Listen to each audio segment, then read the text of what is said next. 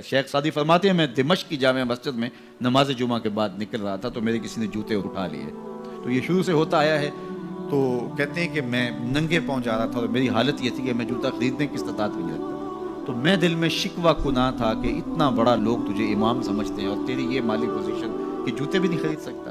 तो आगे मैंने देखा, एक शख्स था जिसके पाँव ही नहीं थे और वो रेंगता हुआ आ रहा था। मैं फ़ौरन सजदा रेज हो गया, मालिक, शुक्र है तूने पाँव तो अता किए।